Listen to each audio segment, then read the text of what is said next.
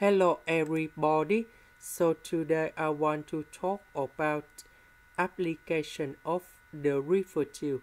So now I want to show you how to answer.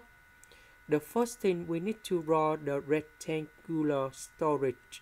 That should be like this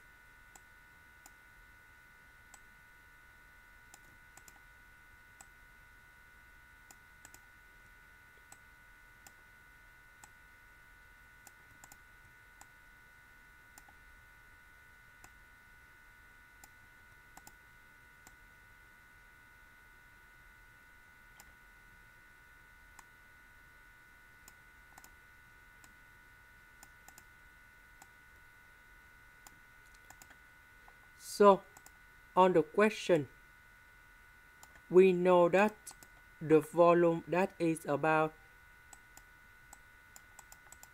10 cubic meters. And the next one, the length of its base is twice the width. Let's say if I put about the width that's about s so this one that should be about 2s. And the next one, we know the cost of material in here. So if we want to find the height, we have volume equals to the length multiplied by the width multiplied by the height. So we have length that is about 2s, width that is about s, and height we don't know. So we have v divided by l multiplied by width. So this one we have number 10 multiplied by 2s squared so this one we have 5 over s squared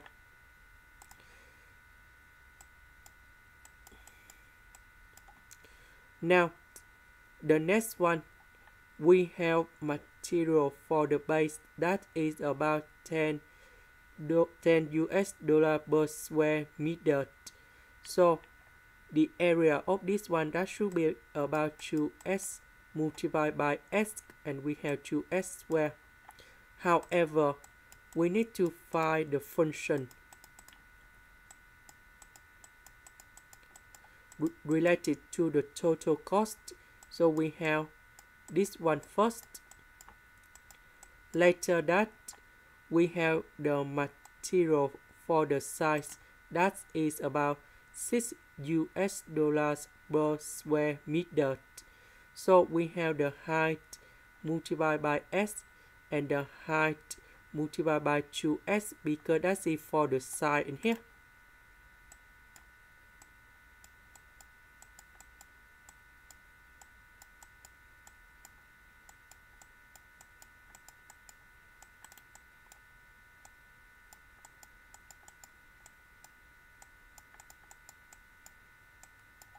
and now we need to simplify everything.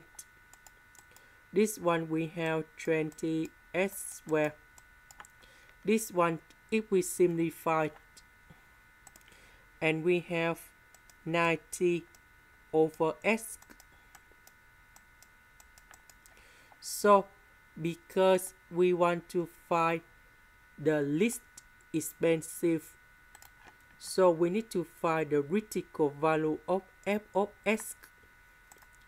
So if we do first the derivative of this one, we have 2s plus uh, negative 90 over s squared.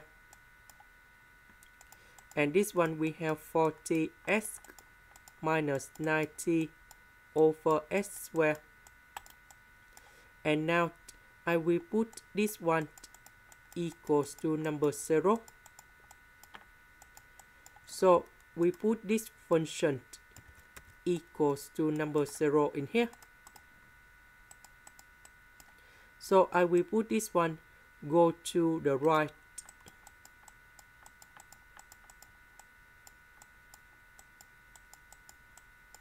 This one I will put on the left, 40 we put on the right.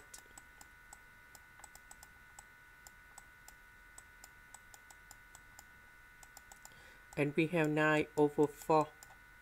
So S in here that should be about the cube root of 9 over 4.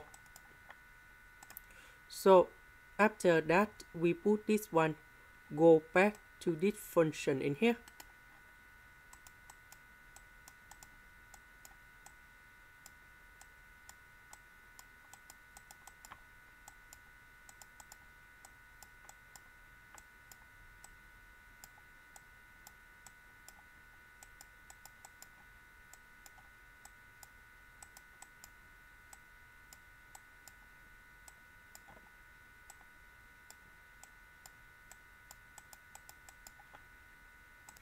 and we have 103.0.2 this is the end.